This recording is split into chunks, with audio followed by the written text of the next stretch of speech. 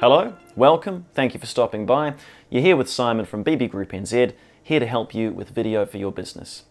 Now, whether you've edited a video or not, I can tell you now that something editors love is choice. So, today what I want to talk to you about is building a library or a bank of clips that is an asset to your business.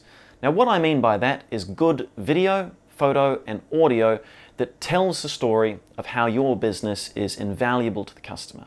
Because video is such a good storytelling medium, and because editing is often about choosing the most relevant and best shots that really illustrate that story, by giving more choice to whoever's editing that video, it means they can craft something better.